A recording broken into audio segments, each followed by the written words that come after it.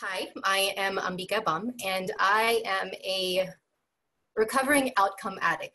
I want to start off with asking all of you guys, how many of you are, let me start sharing my screen real quick. How many of you are also very outcome driven? So if you could log in on slido.com and use this event code and answer this question. I'm curious of all the people who are out there, how many of you are also very, um, or have been, focused on wanting to achieve XYZ, whether it's a certain grade or a certain um, stature, a job? How do you consider yourself?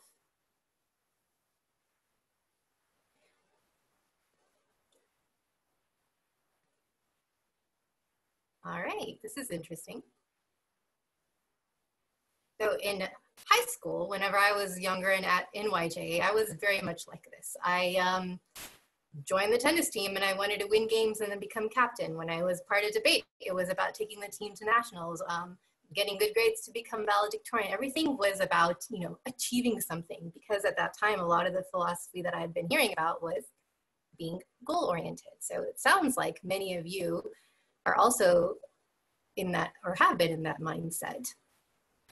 So, what kind of outcomes do you desire? What are the things that all of you have been aiming for? If you could also submit on this next question. the perfect job. I can get that. Success. That is a great thing to aim for, but what does success mean to you? I'm finding it very interesting that many of you are, are talking about more um, esoteric responses here. That's great. You're already beyond where I was necessarily. Um, college, acknowledgement. Well, um, I appreciate all of your feedback. Like I said, I um, was was kind of introduced by Disha with my back with my uh, bio, and I have to say, when you just hear that, it sounds like that I'm like the champion of being an outcome addict. Um, but what I'd like to really share with you today is what I've learned in my in looking back at the last 15 years about how to actually obtain outcomes by not being focused on the outcome and by being focused on the path that takes you there. So my plan here today is to talk a bit about what my um, path has been, what I currently do, and then at the end, allow for some time for you guys to ask questions so it can be more relevant to what your experiences are. I'm going to um, now switch over to telling you about, give me one second to switch screens here. So what do I currently do? I am at the moment the Health Science and Technology Advisor to the Crisis Management and Strategy Office of Department of State. So this is a very complicated looking graph. Um, and the point is, is that it's complex. The Department of State is a very hierarchical um, department with a lot of different offices and bureaus. Um, and of the different government agencies I've worked in, it is very hierarchical. Where you are on this um, chart does affect um, how quickly you can obtain results and get permissions granted. Crisis management strategy sits in the bureau or the office of the secretary um, in the operations center working with the executive secretariat. And it was originally established in um, 1976 with only three people. And what they were doing at the time was really transcribing events as they were unfolding of different emergencies at that time. Today, the office is about 20 people, um, split between foreign service and civil service um, officers. So foreign service officers rotate across the world in different posts, um, and including here in, in DC, where we are based in civil services, people tend to be more institutional knowledge for the office. Um, the way I think of crisis management, this particular office, is kind of like the lifeguards on the beach. They're keeping an eye out on the ocean, looking for waves, looking for um, high tide coming in, and warning everyone on what's going on and being able to get that information very quickly to the senior leaders, the Secretary of State and, the, and their direct um, uh, deputies, um, because of being on the same floor with them is a big part of it. Uh, over the last 10 years, there have been 125 evacuation um, situations, and as many um, where there were no, the crisis was averted and evacuations were not needed. I um, joined this office in December. So it's been seven months, but honestly, it feels much longer because everything that has unfolded. Um, and I would have to be um, honest in admitting that part of what motivated it was um, my love for this one particular TV show, Madam Secretary. And honestly, the first weeks of me starting on this job felt like being in that TV show. Episode two of season one of Madam Secretary is about an embassy getting attacked.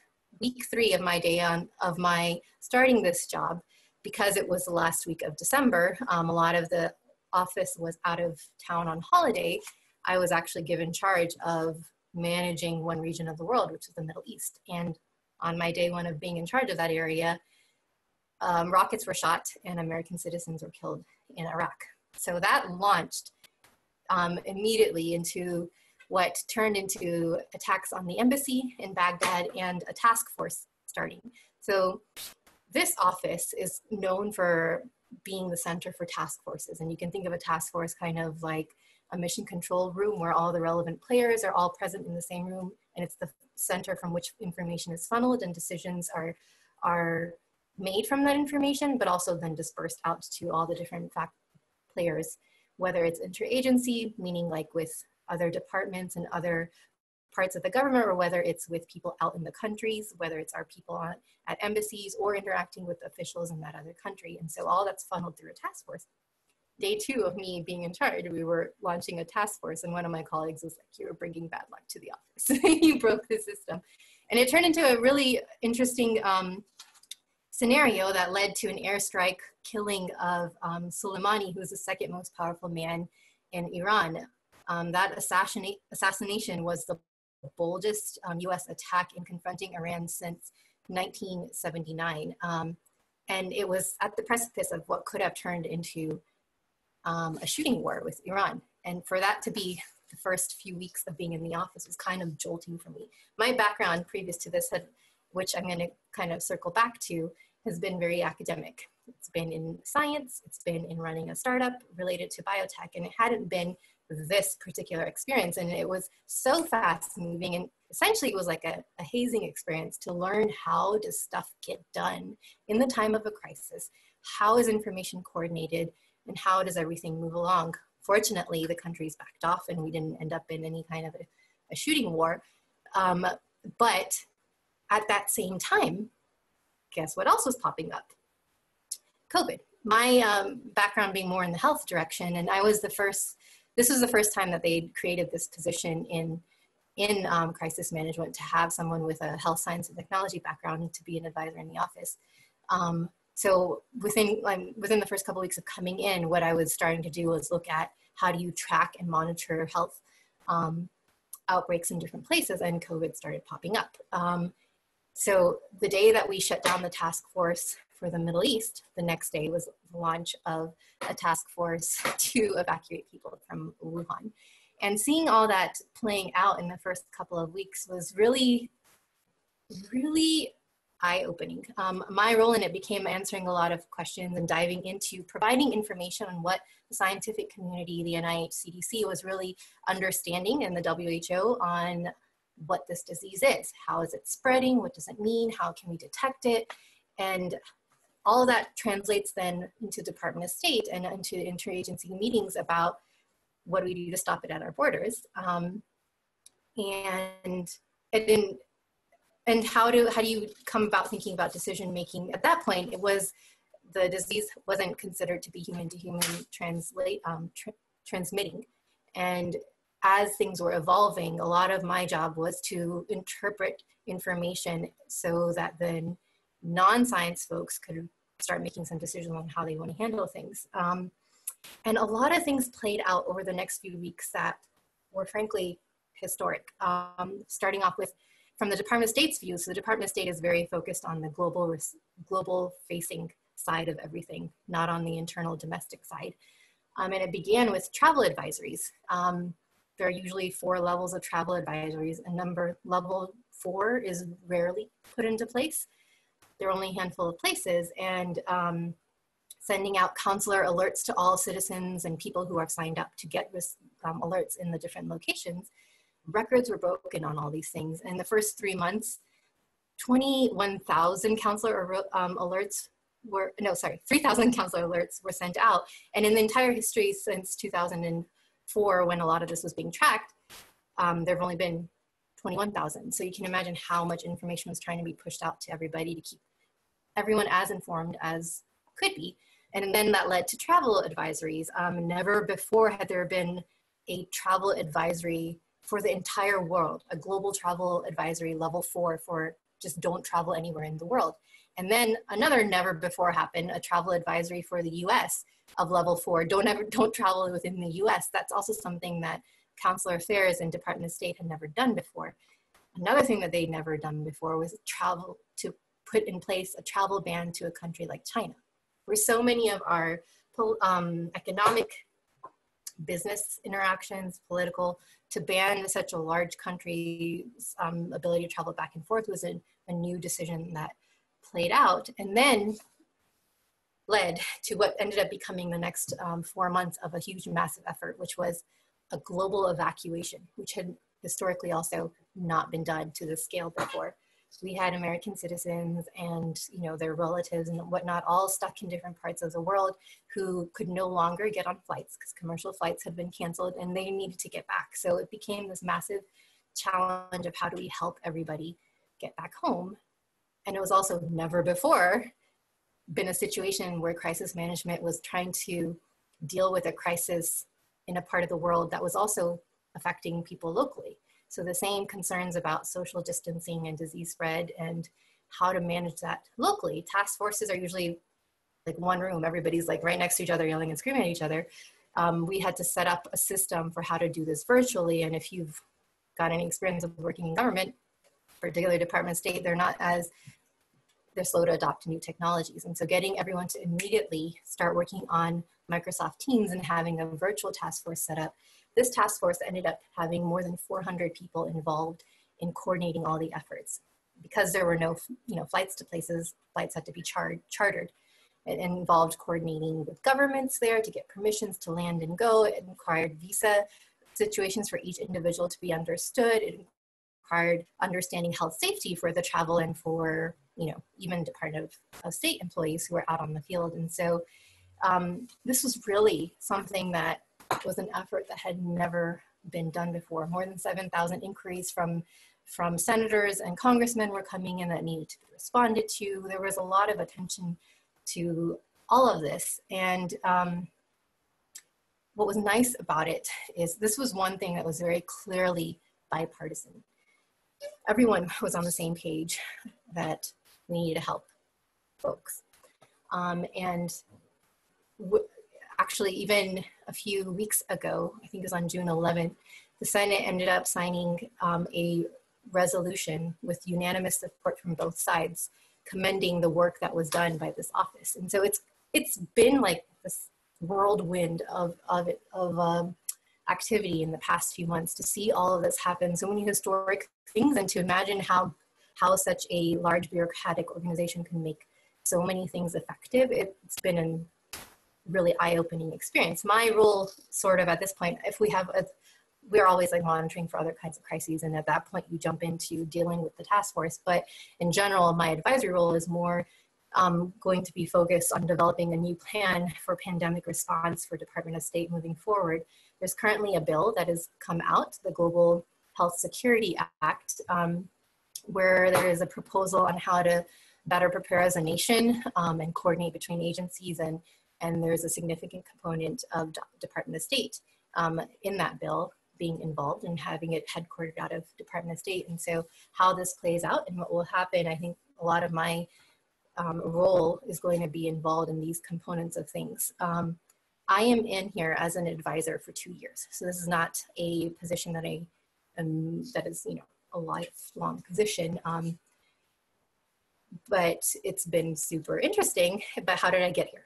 like what even led me to all of this i think when YJA reached out to me and i asked them um, what did they want to hear about it was about well, what is your career been and what have you learned in it um, and so i'm going to kind of backtrack now and go to beginning. So in high school um, i mentioned that i was involved in a lot of different things. Um, and while i enjoyed all those activities and i participated in them feeling like it's it's for the benefit of my like broadening my experiences whether it's sports or you know debate things or um, community service activities i also knew in the back of my head this is like building my resume for college. Um, and it wasn't like it was a part of it and it, and you know it, it worked i did end up getting into a lot of colleges but it was very much about this like i need to get these things on my list so that i can get to where i want to in college um, and i could i was good at articulating why those plans were in place and where I was trying to go with it. But the reality was, is I kind of had intellectual ADD. I was interested in like so many different things and trying to figure out what was the career I wanted to have and where I was going to go with it.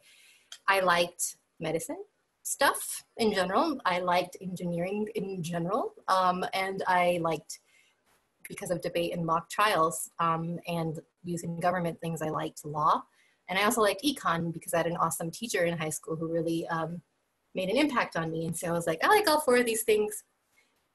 Um, at that time, the degree of biomedical engineering was just like starting to become an undergrad degree. I mean, it's always been um, in grad school and research to do biomed research, but um, an official undergrad program was just starting to become a thing for the last like four or five years before I was grad graduating high school. And so I was like, I'm going to do biomed engineering because it combines two of those things, and I'll do a minor in econ.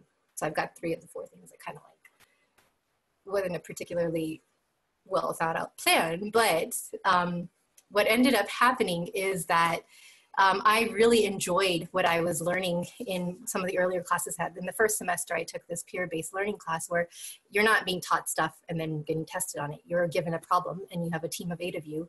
Go figure out how, as an engineering team, you would um, solve this problem. There's no right answer, there's no wrong answer.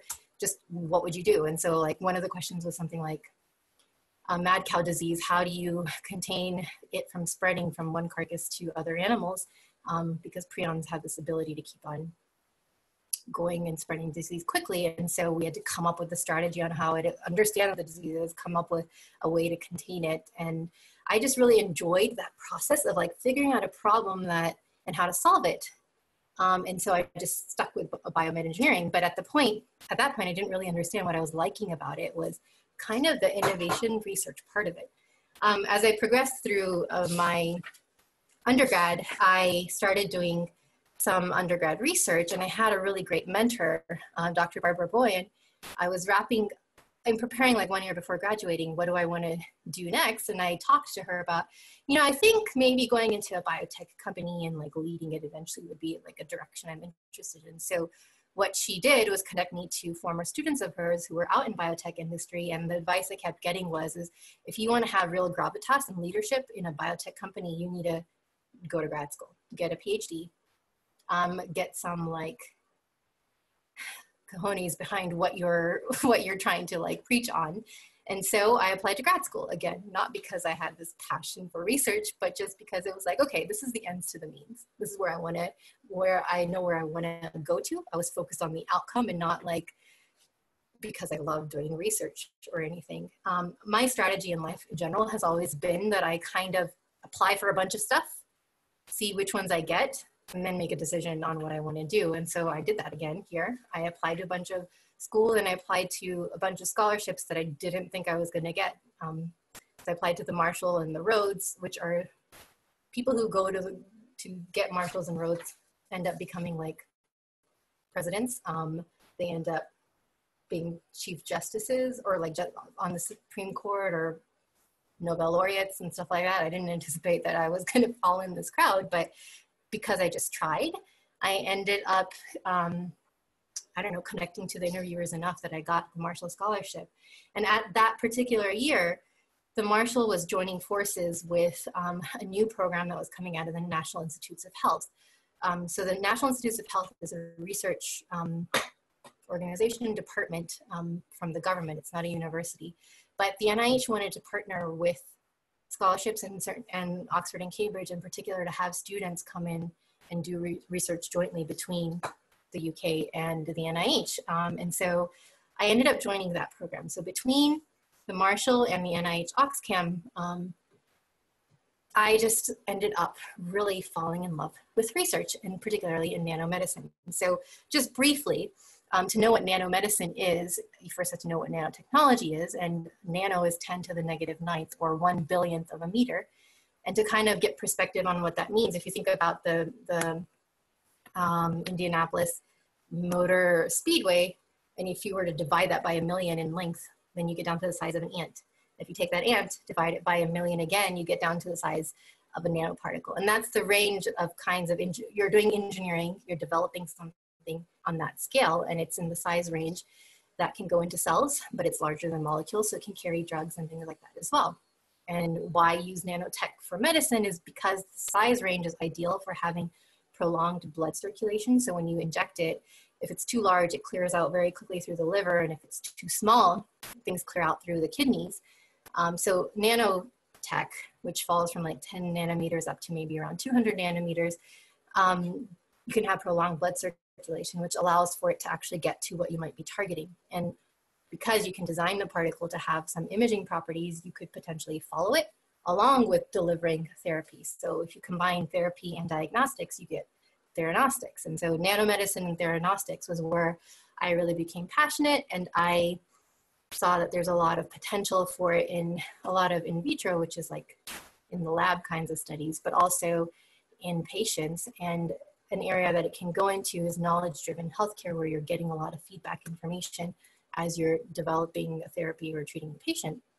And my work focused on developing a nanoparticle that had three different imaging properties that give you different kinds of information. And I was testing it in, in diseases related to autoimmune disorders like multiple sclerosis, along with looking at it in cancer models to show that it's a platform technology that can have applications in different places. I'm not really going to go into the detail, but as I was wrapping up my PhD, um, you get to this point of like, now what's next? I've been studying for a really long time. Um, and what does this mean? Like, what am I going to do with all this stuff now? So I'm going to read you this poem that um, my sister, when she was wrapping up med school, I think it's the head of her med school, read this poem, and I, it conveys the feeling that you have at the end of grad school. It's a poem called Knots um, by R.D. Laing. There is something I don't know that I'm supposed to know. I don't know what it is that I don't know, and yet I'm supposed to know it. And I feel stupid if I seem both not to know it and not to know what it is that I don't know. Therefore, I pretend I know it. This is nerve wracking since I don't know what I must pretend to know. And therefore, I pretend to know everything. I mean, you're a PhD, you're supposed to, you have doctor in front of your name, you're supposed to know everything now.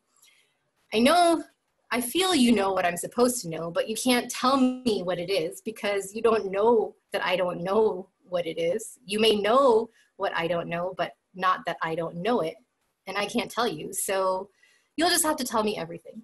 Um, if that was confusing, what it basically felt like was is that the more and more you're studying, you're getting all these academic and educational like uh, endeavors, you're becoming more and more of a master or this like you have all this knowledge about less and less and less. So you're becoming this like expert on a really specific thing in the in the world. And what you learn through all this education is kind of that education is a progressive discovery of your own ignorance. It makes you humble. You realize that there's so much out there. So now what do you do with the little piece and slice that you know? How do you take it forward in some significant way? Um, so as I was like wrapping up grad school, I was really, what I, grad school for me was a, a time of a lot of self-discovery. I learned a lot about what I enjoy, what I like to do, but I also was meeting all these incredible people. So the, my like um, other colleagues, I guess, other scholars and whatnot who were in this group were amazing people. These are people who, like, one of them was the blind um, musician on American Idol after we left. Um, one of the girls, she was studying CS previously, but she switched into a STEM education direction. And later on, she went on to found a company and is on boards of companies like Starbucks. Um, another person was really passionate about cybersecurity, and he ended up developing a department at Harvard for cybersecurity. All these people were high achievers who just made massive impact. Um, a person who was at Oxford at the same time as well on the Rhodes Scholarship at the time was Pete Buttigieg. So these were like, you know, people who had passion to really do something and they had a drive to make it happen. And what I really realized is, is winners and losers both have the same goals. They don't start off saying that I want to go somewhere different. They're aiming for the same thing. So what distinguishes them? And what I've found is that ordinary people focus on the outcomes and more extraordinary people focus on the process that gets them to those outcomes. Um, those extraordinary people, they gain satisfaction in the pursuit of, uh, of that.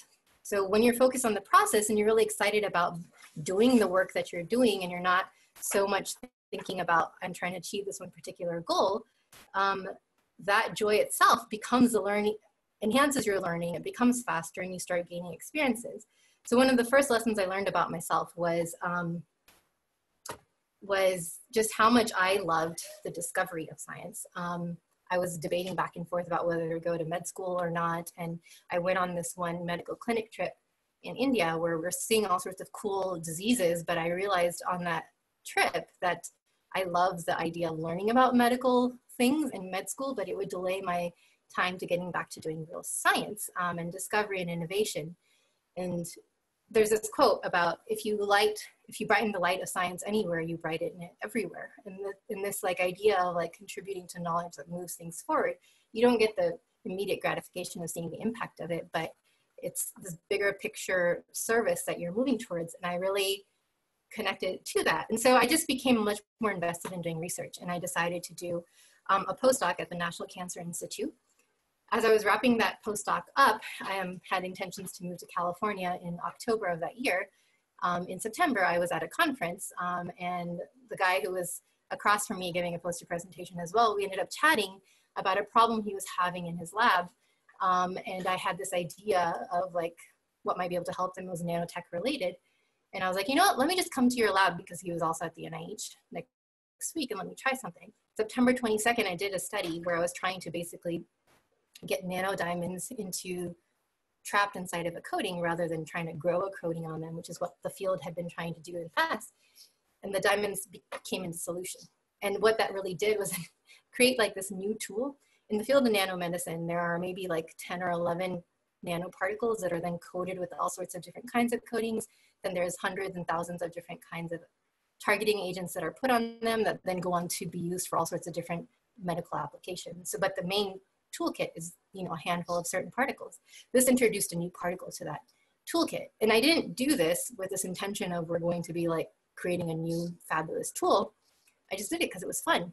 And that changed the course of everything for me. I ended up staying and joining his lab for another postdoc in the Heart, Lung, and Blood Institute.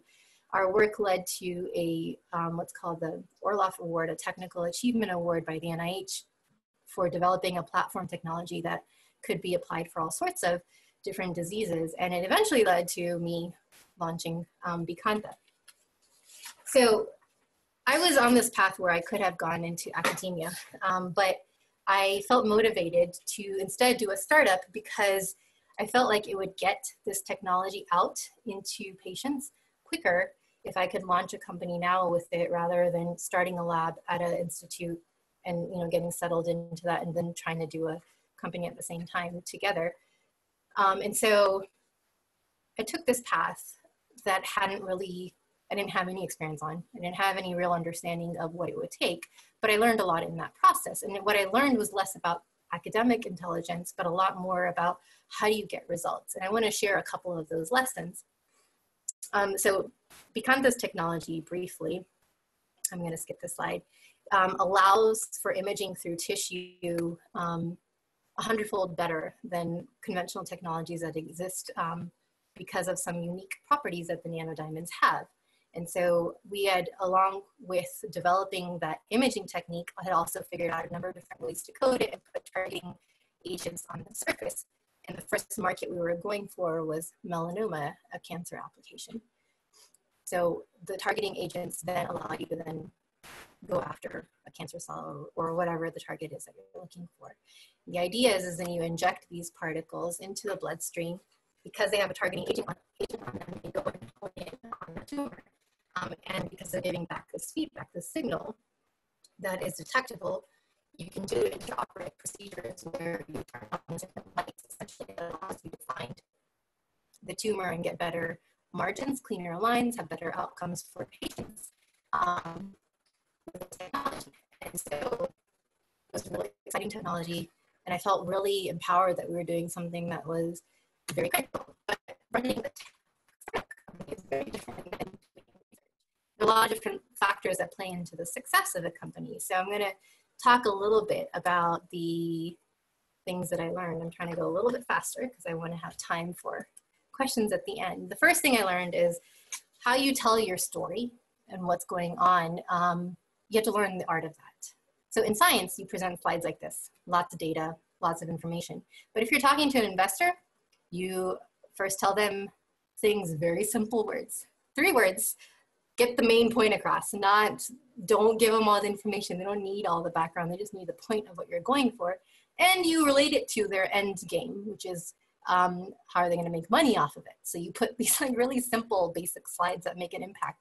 Um, but if you're talking on the other side, policymakers. So I was also involved in some nano policy work. There you talk about the bigger picture impacts it will have for society. And so uh, you're talking about the same technologies. It's the same thing, but how you present it is very different. So learning how to tell the story for the audience you're going to matters.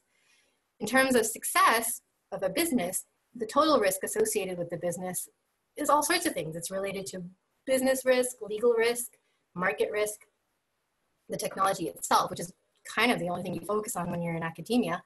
But all of that is actually compounded by the human risk. Who are the people who are leading it? Who are the people you're working with? Um, who push it through to get your first results and your first success stories. And your team is very much what drives that. So getting a really good team in place and having the entire team um, focused on kind of the mission, having a culture that supports everyone, that everyone believes in, became a really important part at Bikanta. Um, and so this was kind of our company culture motto um, about being working with integrity. And you'll see that there's some links to Jainism in this. This is about being honest and direct and satya, like showing data about what we're doing, not hiding it. Um, different companies behave differently about this, but this was what we all as a team felt having meaningful impact, you can work on all sorts of problems. There are so many options of things to deal with, but where can we have the most impact in understanding that, focusing our efforts there.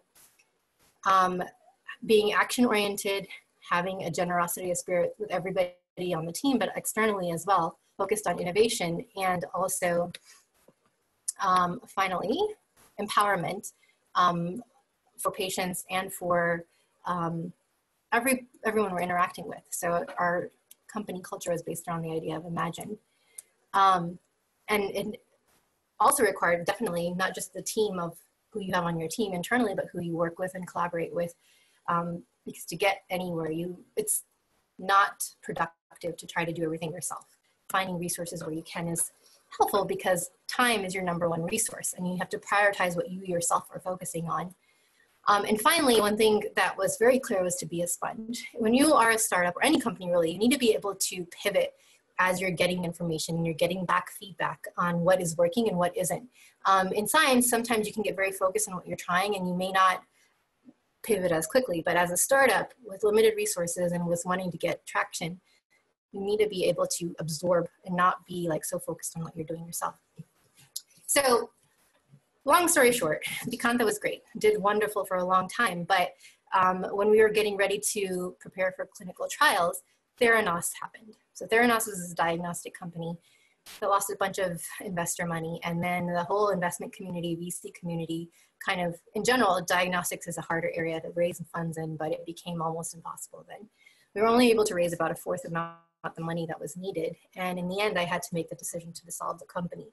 Um, and so getting to a point where understanding what that meant was that failure or not and what it would feel like what i realized was i didn't feel bad about what we had done as a company we moved forward in technology which eventually the nih took over and is continuing to develop but the part where I felt a lot of, um, I don't know, responsibility was is I had employees. Their livelihoods actually depended on us being successful. I also had investors who had put in money into the company and not being able to return their investment was something that I did not feel great about. Um, it turned out everybody in the company was able to real quickly land other jobs before the company had to dissolve.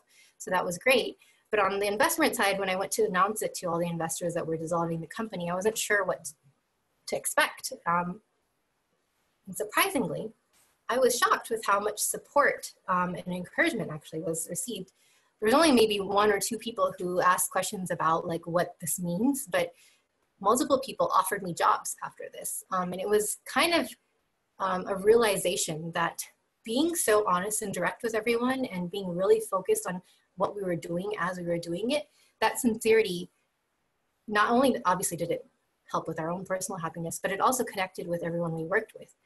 Um, from there, I realized that um, my skill set, something that I enjoy is thinking about the bigger picture and strategy and how are you getting to have the most impact possible. Oh, sorry. This is a quote I wanted to share that. Um, the experience of going through something where it could be a you develop good judgment from experience and often experience comes from having had failures or having had bad judgment. And when you're at that point, then how do you move forward?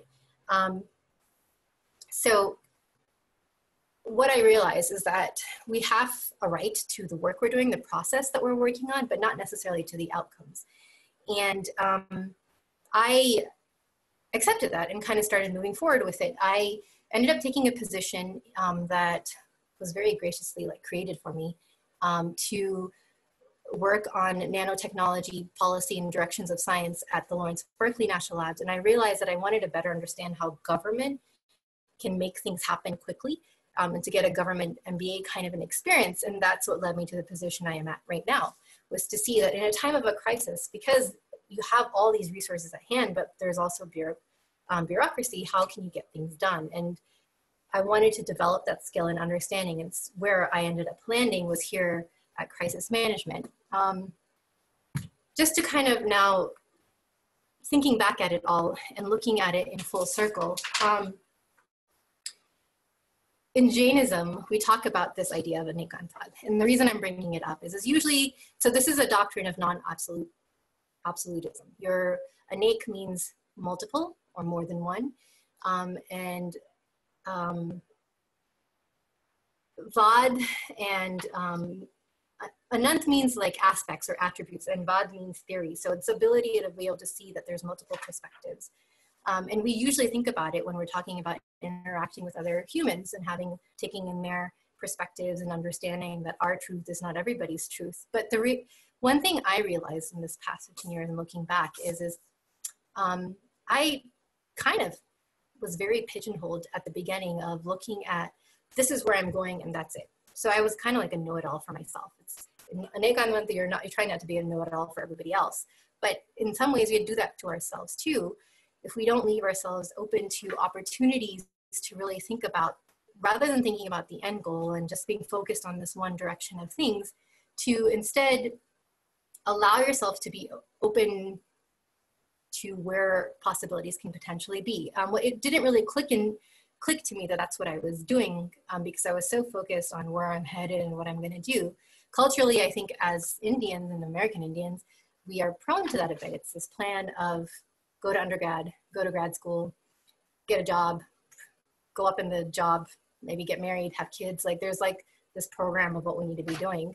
Um, and what I've learned is that by being outcome driven, you're limiting your view and your ability to see the big picture. You accept when you can accept that there's not just one view or that you may never know what the big picture is, you kind of open yourself up to to more opportunities and taking more risks to um, that can lead to leaps in your career. Um, in Anekantvad, um, to get Praman which is like the complete knowledge, you have to look at both direct knowledge um, and indirect knowledge. So it's knowledge that you're learning from your experiences and external things, but also internally. And I guess where I want to wrap up with, because I'm kind of going a little quick here, sorry guys, um, is that how do you apply that in a professional setting? And so when you look at the theory of anekantvad, there's a lot of discussion on how you need to first develop a strong urge to seek the truth. But what it means in a professional setting is that first you have to be driven, you have to want progress. And the truth or destination in your career really circles around not knowing what the is not about the material outcome that's going to come at the end, but understanding what you are enjoying in the path of getting there. What is it that drives you, that moves you forward? And for me, I've realized that a lot of it is about having positive impact. That's the kind of thing that really pushes me in my decision making on career moves.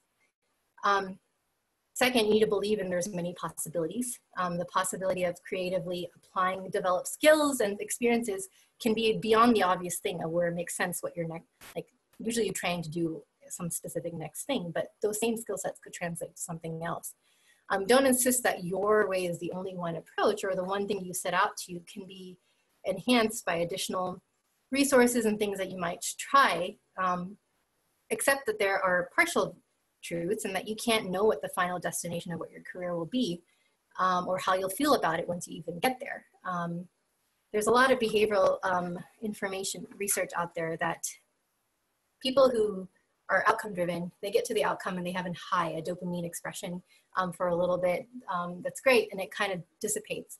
But if they're also outcome driven, the the side, if they experience failure, the the just like the high of getting the the result is short. The opposite of that is with failure. You end up feeling the negative feeling of it much longer. Whereas people who are focused on the process, Instead, they get joy throughout the process and the outcome itself doesn't really have that same longer term effect on them. Um, so if you can accept the truth, even if it is expressed by others, so that's number five on here. So you need to be open to feedback from clients and patients and um, advisors um, to help you think about what are the possibilities and accept that the truth can consist of all sorts of things that you wouldn't have thought of that might seem opposing. I think the thing I want to end with is that I've learned, I think there's this quote by Malcolm Forbes that education's purpose is to replace an empty mind with an open one. And what is that? That's anekantvad. Um, and so with that, I appreciate all of you guys tuning in and um, I'm going to point you to Slido where you can send in your questions and Disha's gonna help um, connect us. Perfect. Thank you so much, Dr. Bumb. Uh, we're now going to dedicate some time to Q&A with Dr. Bumb. So if you guys could just use that on Slido and, you know, bring in any questions you guys might have. Uh, but we can get started. There's already a couple of questions there. Um, so the first question is, in a role where crisis is often a part of the day-to-day, how do you maintain and like keep your composure throughout?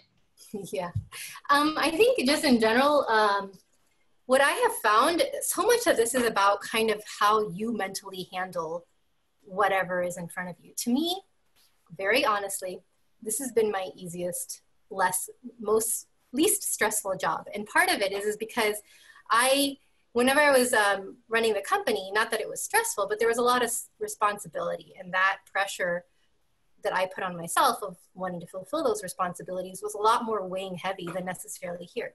Here, I feel like a part of a team. We're all handling crises and information is being thrown at you, but um, the entire weight of everything is not on my shoulders. And so um, it's about having healthy habits, about not, um, you can't make it a personal thing. And when you're running a biotech startup or when you're doing your own research, it's a lot more personal. So for me, those experiences were probably a little bit more heavy weighing than this particular role has been. Um, yes, it's a crisis, but there's a way to somehow kind of distance yourself emotionally from it so that you can remain composed and handle things. And and also I have to say that this office is filled with amazing people. Everyone is just so productive, efficient, focused, and positive.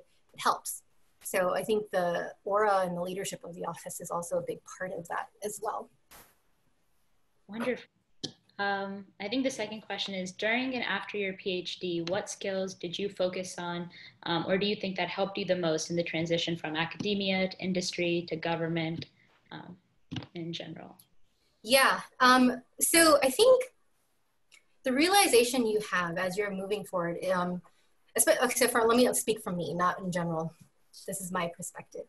Um, I was very academic, right? a lot of school, a lot of getting good grades and like getting scholarships and getting PhD and getting good papers and whatnot. Um, and the more and more you realize that it's not about knowledge, like being able to spew out knowledge like traditional smarts. Because frankly the more and more the way the society is going everyone will have information at their fingertips through their phone and internet anyways. It's about being able to translate and see how experiences that you've had before can be used in a new setting. So it's these analytical skills these practical skills and experiences you have. Um, and so literally looking for opportunities to learn more of those and then apply them. Um, when i was doing my phd because it was a joint program between oxford and um, uh, and the NIH, actually ended up having four advisors. Usually in a PhD, you have one advisor. These are four advisors in four different institutes, four different like um, research backgrounds. There was an immunologist, an engineer, a um, imaging person, and um, a chemist. And so I was learning techniques from all of them, but it, what I learned also is that I have to kind of coordinate them and manage them. And how do you do that across time zones and different, you know, priorities? Those skills translated very much into running a company company. Um, you're having all these pieces you're juggling, and how do you translate that into that? And it's super obvious now here in this role as well. Sometimes the different pieces that you're navigating and coordinating and how you're bringing them together are also different perspectives um, on how to manage whatever the crisis might be or a political perspective and how those skills of of people skills, frankly, and um, I don't know, I don't want to call it managerial skills, but it's more like coordinating skills and getting people to realize a goal together.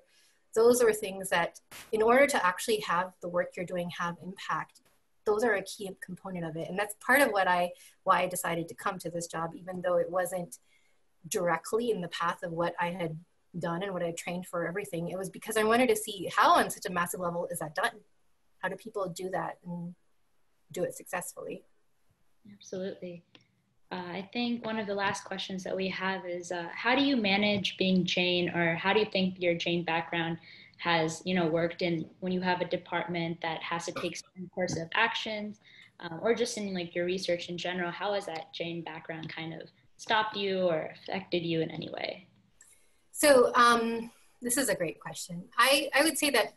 Um, so Jainism has been a very big part of my life. Um, growing up, my family has been, I mean, it was a very personal experience for sure because we were kind of in a smaller community. My parents were the ones who we learned a lot from, but we had study groups with the families. We learned a lot about the scripture. I was always coming to Jaina and YJs and things. And so knowledge about what is there um, was a part of who I was. But as it came to applying it in life, I think what Jainism in general a lot of philosophy is is how do you choose to apply it in your own life you know monks applied it in a different way than we would in our as a layperson and it definitely affected a lot of aspects of as i was progressing initially when i was doing research it became a question of am i comfortable with doing animal research um, ahimsa and all these other concepts but I mean, think about it. So many Jains are doctors. A lot of all that came from research on animals as well.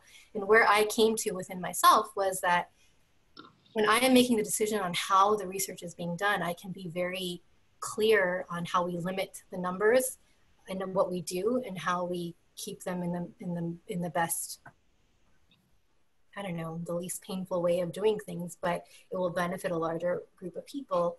So I there were questions I was asking myself a lot at that point. Um, I think now it's really interesting time to work in DC. There's a lot of divisiveness. There's a lot of anger. I knew when I was coming in, I'm coming in. I, it's not going to be shocking to know to think about where I probably fall in the political spectrum, given that I'm a science person. Um, but I wanted to see like how can you be in in an environment where there are opposing viewpoints, and how do you still work towards a common goal to get somewhere, to have some progress, to have something to work towards together. And coming to an agency which is all about diplomacy, it was something, the skill set that I wanted to understand. And I think for me, it has been a lot about Anekantvad in all of this. How do you tie? So there have been different principles that I think have played a role in different aspects of my life. It's hard to kind of talk about it all in like a two minute answer, but um, I do think it falls back on some of the basics that I was learning when I was younger, but choosing how to apply them in a practical way has been an experience and it's continue, is going to continue to be. It's like not over still in my 30s. So um, I'm sure it'll continue. Absolutely. Um, yeah.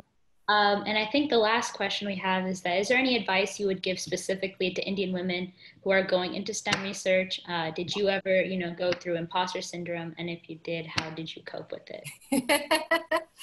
oh, okay. This is such a great topic to dive into. Um, women in STEM in general, uh, I don't like it's so clear that there is a, there's an advantage to having women there, but um, there are fewer numbers. I'm, it's not just specific Indian women. I think actually Indian women have a little bit of a benefit because um, uh, we're not as much of a minority compared to overall. Like the bigger problem is women in general in STEM.